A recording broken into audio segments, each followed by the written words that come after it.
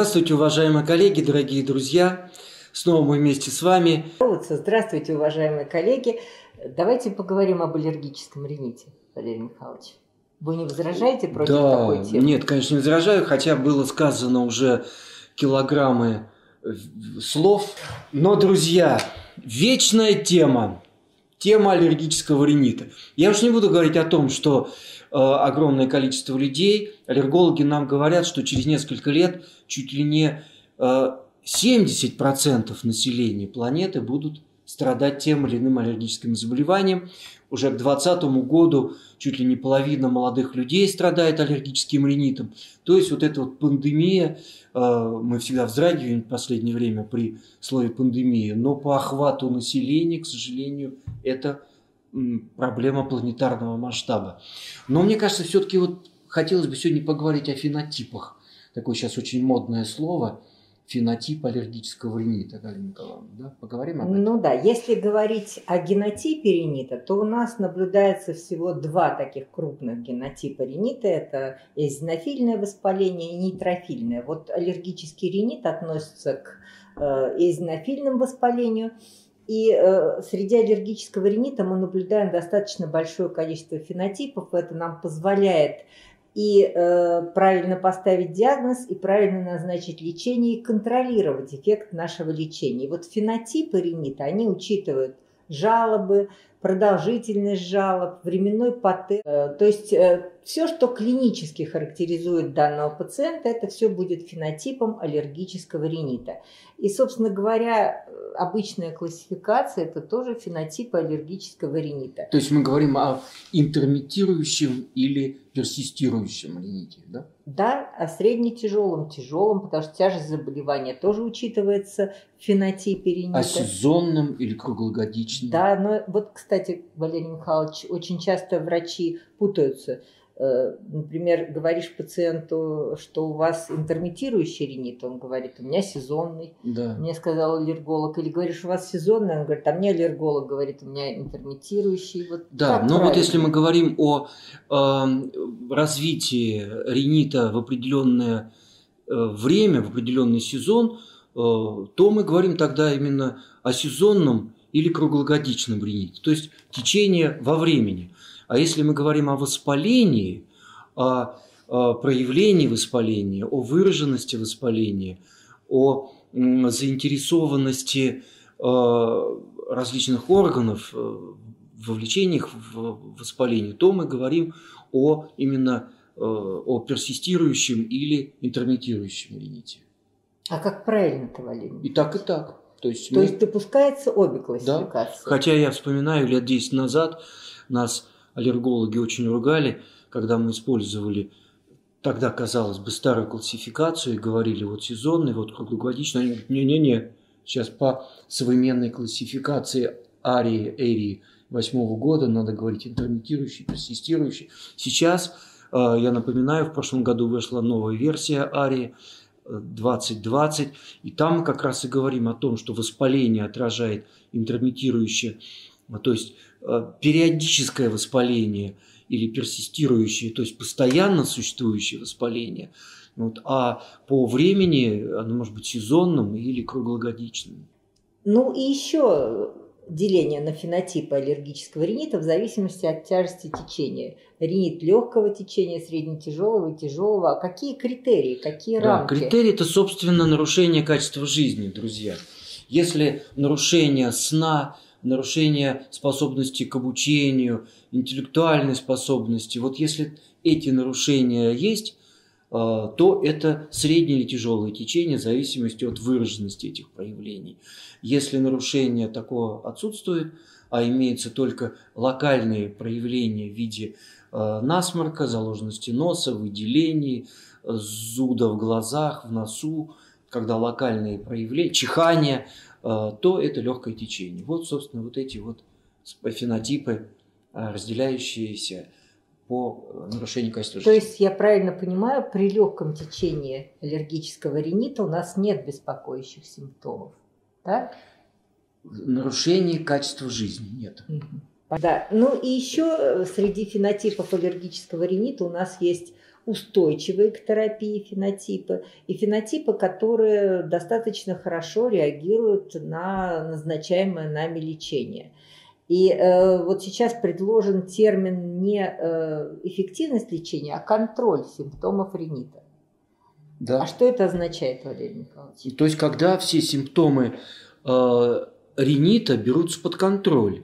Э, ринит, который, э, симптомы, которые характерны для э, любой формы, легкой, средней тяжести или тяжелой. То есть заложенность носа, выделение, глазные симптомы, неглазные симптомы. Вот когда мы эти симптомы контролируем и контролируем успешно, тогда считается, что мы правильно проводим лечение, и это лечение надо проводить дальше, или даже можно что-то уменьшать, отыгрывать назад, э, уменьшая количество препаратов, э, дозы этих препаратов. И наоборот, когда мы под контроль эти симптомы не берем, э, то, собственно, требуется что-то менять в лечении, добавлять, увеличивать и так далее, и так далее.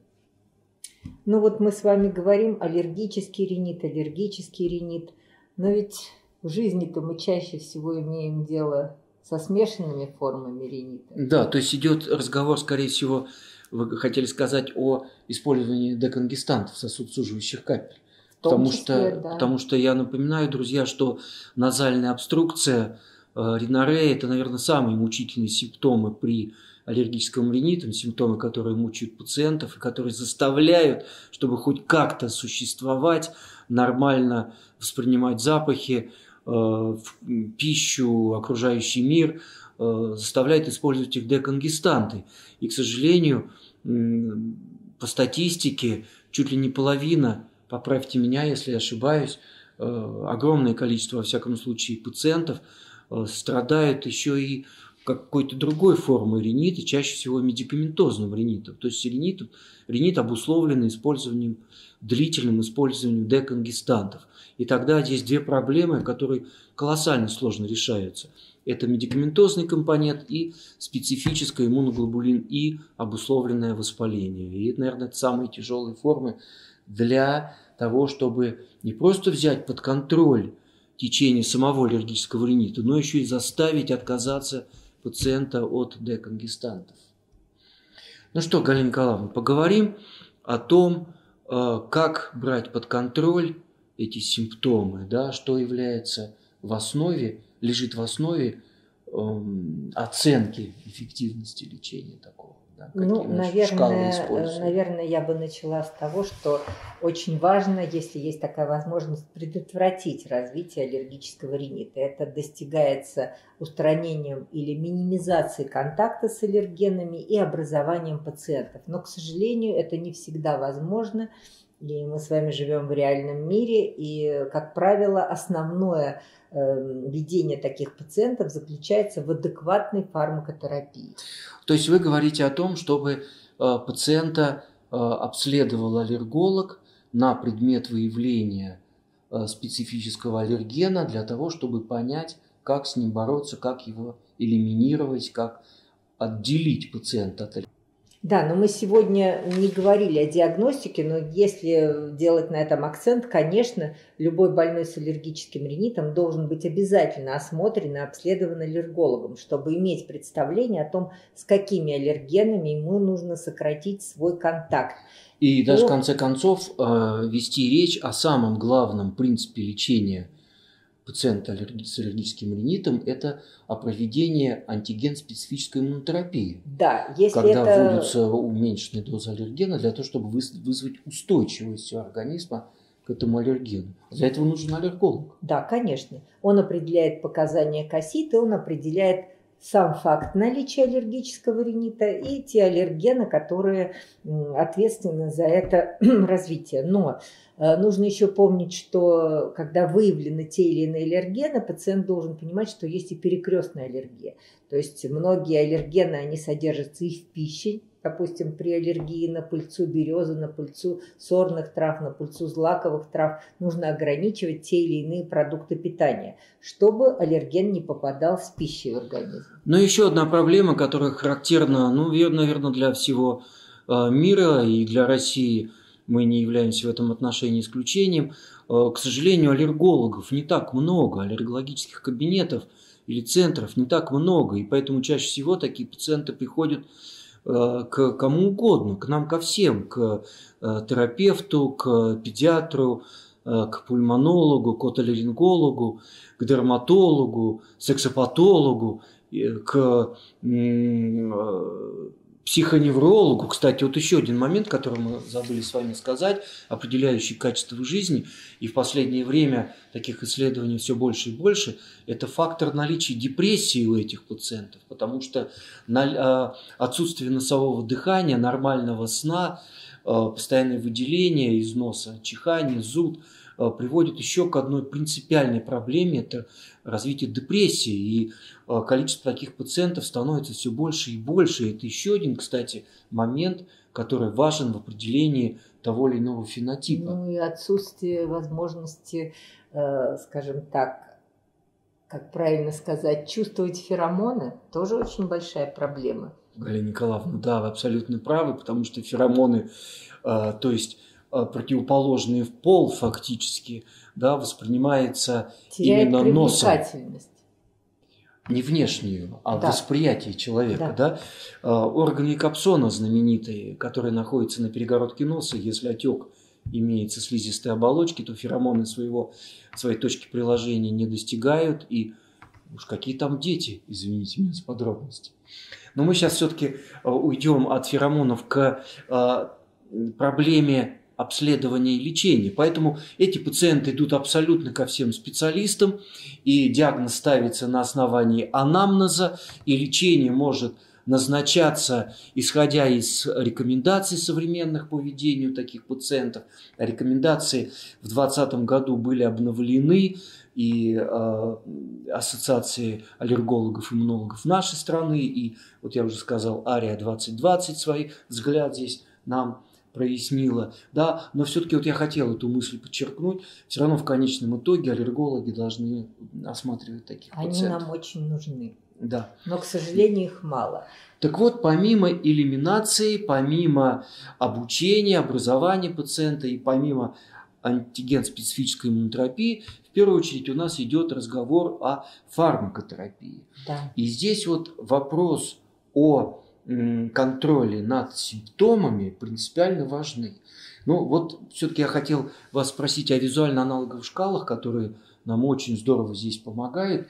И именно, э, и, кстати, последняя э, версия Ария, она нам очень рекомендует использовать визуально-аналоговые шкалы, потому что это очень простой инструмент в нашей клинической практике, который позволяет четко сказать, взяли мы под контроль э, течение аллергического ринита в целом и симптомов в частности, или где-то какой-то сбой происходит и что-то надо менять. Что такое визуально-аналоговая шкала? Это, собственно говоря, цифровое выражение э, той или иной степени выраженности, извините за тавтологию, симптома. И пациент обычно, он сам определяет по десятибальной шкале, э, насколько у него выражен тот или иной симптом. 10 баллов мы считаем максимальная выраженность, 0 баллов отсутствие. То есть это шкала? Да. В сантиметрах, как угодно, ну в сантиметрах чаще, чаще всего. Чаще всего используется 10 От 1 до 10? Да, чаще всего используется такая шкала. И пациент вместе с доктором скорее сам пациент под контролем доктора определяет, насколько у него выражены эти симптомы. Да, если менее двух сантиметров, то мы считаем, что ринит контролируется, у пациента все неплохо, наше лечение вполне адекватное. Если от двух до пяти, мы можем рассматривать э, изменения терапии, изменения дозировок, изменения характера препаратов, добавление других препаратов. Но э, лечение собственно говоря, идет так, как нужно, только не совсем эффективно. А вот после больше пяти симптомов, значит, ринит не контролируется, нам надо что-то кардинально менять в ведении такого пациента. Ну вот какие контроли здесь существуют? Друзья, вот, например, такой э, очень простой тест, как э, носовое дыхание. Вот для того, чтобы понять, помогает лечение или нет, мы просим пациента закрыть рот, и без деконгестантов просим человека подышать носом на протяжении 30 секунд. Вот если ему полминуты удается дышать без большого напряжения, достаточно свободно, то мы считаем, что вот такой симптом, он контролируемый. И все лечение у нас э, проводится достаточно гладко. Принципиальным моментом в лечении больных аллергическим ринитом в настоящее время является использование ступенчатого подхода, ступенчатой терапии, когда мы от одной ступени, не добившись контроля над симптомами, переходим к следующей, к третьей и к четвертой при тяжелом течении аллергического ринита. Так вот, первая ступень подразумевает возможность использования самых разных э, препаратов в качестве монотерапии. Это может быть и системные антигистаминные препараты, и топические антигистаминные средства, и антилекториеновые препараты, и даже, в конце концов, крамоны. А которые... А крамоны-то, они малоэффективные. Да, как раз вот вы сняли у меня с языка, что называется, Галя Николаевна. Э, крамоны иногда э, мы расцениваем действительно как, э, может быть, малоэффективные средства, но они абсолютно безопасны. И вот за счет своей э, такой вот безопасности они могут использоваться у детей, у беременных, и поэтому до сих пор на первой ступени применяются. А вот дальше, собственно, когда не удается взять под контроль течение ринита, мы переходим к следующей ступени, когда предпочтительно является использование топических стероидов, Хотя и другие средства, как, например, системные или топические антигистаминные препараты, а, антиэлектреновые средства также могут применяться. А вот дальше уже третья ступень, когда они достигли контроля. А здесь уже идет сочетание различных средств. Например, топических стероидов и топических антигистаминных препаратов, системных э, антигистаминных и антиэлектриеновых средств. То есть вот такая комбинация э, очень-очень эффективная а и позволяет... Мы можем пойти? Достигли Конечно, достигли, достигли эффекта, застабилизировали и дальше пробуем уйти на э, скажем, с третьей на вторую, со второй на первую ступень. Но, друзья, при тяжелом течении ринита, когда комбинация препаратов топических системных оказывается малоэффективных, мы ведь с аллергологами чаще всего э, до последнего времени, именно с нашими дорогими аллергологами, мы переходили к четвертой ступени, когда мы использовали э, так называемый принцип биологической терапии, использование моноклональных антител к э, иммуноглобулины И, и у нас здесь, собственно, до последнего времени был единственный препарат, зарегистрированный в нашей стране. Это был препарат амализумаб, который блокировал иммуноглобулин И, который препятствовал тем самым контакту с э, к, тучными клетками, э, с базофилами, нет выхода гистамина и, собственно, уменьшение таким образом аллергической реакции. Друзья, положительный э, момент – Э, в этом лечении тяжелого аллергического ринита. До ноября прошлого года мы имели право использовать амализумаб только при сочетании астмы и аллергического ринита. В чистом виде э, этот препарат не использовался. С ноября расширение показаний. Амализумаб у нас может быть применен при аллергическом рините тяжелого течения без бронхиальной астмы. Так что наши возможности в данном случае расширяются. Галенька, здесь еще один интересный момент. А, ведь в арии написано, что именно при четвертой ступени а, течения, лечения аллергического ринита показано хирургическое воздействие. Возможно.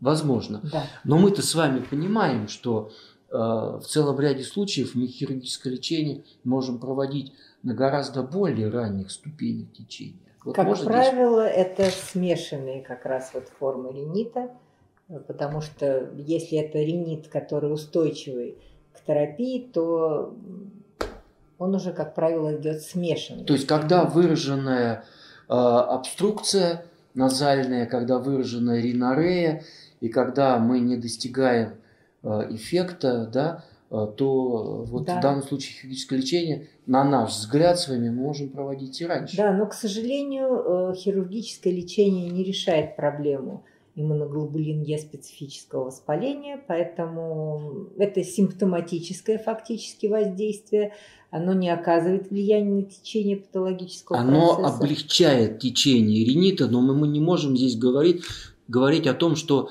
эффект от хирургии будет стойким. Потому что добиться стойкого улучшения, друзья, к сожалению, при таком специ- специ- специфическом воспалении, о котором говорила Галина Николаевна, о стойкости говорить просто не приходится. Но здесь еще один важный момент, чтобы завершить эту тему. Э, Ведь здесь очень важно, почему и нужен отоларинголог, почему важен его осмотр, потому что у нас в целом ряде случаев имеется э, анатомические изменения, структурные изменения, как мы говорим, в частности, э, деформация перегородки носа. И если такая выраженная деформация, особенно в передних отделах или в задних отделах, а это сейчас четко показано, что топические средства при таких анатомических изменениях, они будут малоэффективны. Поэтому хирургическое воздействие, э, на наш взгляд, взгляд э, отоларингологов, когда мы видим четкое влияние перегородки носа на носовое дыхание и, значит, на эффективность проводимого консервативного лечения, конечно, хирургическое лечение может быть осуществлено на любой стадии э, течения э, аллергического ринита. Обоснованно только. Конечно, То есть, безусловно. Когда у нас фактически нет альтернативы. Ну и, Валерий Михайлович, вот еще такой вопрос. Э, Вы не сталкивались с такой ситуацией, когда приходит пациент с аллергическим ринитом, которому вы назначили, допустим, антилейкотриеновые препараты, говорит, я Или топические Две- стероиды. или топические стероиды, я вот уже неделю, почти Да. две использую, а никакого толку нет. Да, Или он минимальный. Да, Мне это не рядом. помогает. Давайте, режьте. Да, Галинка, я просил вас ответить на этот вопрос. Ну, конечно, лечение аллергического ринита – это длительная ситуация. Например, антилейкотриеновые препараты меньше, чем на 3 месяца обычно не назначаются. Топические стероиды тоже используются длительно. И каждый раз мы оцениваем эффективность терапии. И поэтому кратковременные курсы, кратковременные курсы, их нельзя оценить с точки зрения, эффективны они для данного пациента или нет. Необходимо соблюдать рекомендованные в официальной инструкции сроки применения тех или иных препаратов. Итак, друзья, завершая эту тему, э, мы должны еще раз с вами подчеркнуть, что независимо от фенотипа аллергического ринита, независимо от э, длительности э, течения, от воспаления, которое характеризует это заболевание, мы должны соблюдать современные принципы ведения этого пациента. Это консультация аллергологом, это а, возможно, элиминация аллергена, это обучение пациента и принципы фармакотерапии, которые преследуют принципиально два момента. Оценка эффективности проводимого лечения по визуально-аналоговой шкале и ступенчатость, ступенчатый подход к проведению лечения, э, то есть необходимость э, контролирования симптомов и, исходи, и, и исходим мы именно из контроля над симптомами, чтобы перейти к следующей стадии или вернуться к предыдущей ступени э, в лечении конкретного пациента. Наверное, так. Да, Ну что, друзья, спасибо вам за внимание. До новых встреч. Будьте здоровы. до свидания.